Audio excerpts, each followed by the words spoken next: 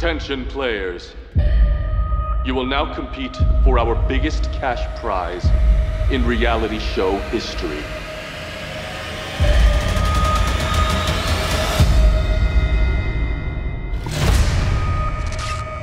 You have got to be kidding me. Oh my god. $4.56 million. People do a whole lot worse for a whole lot less.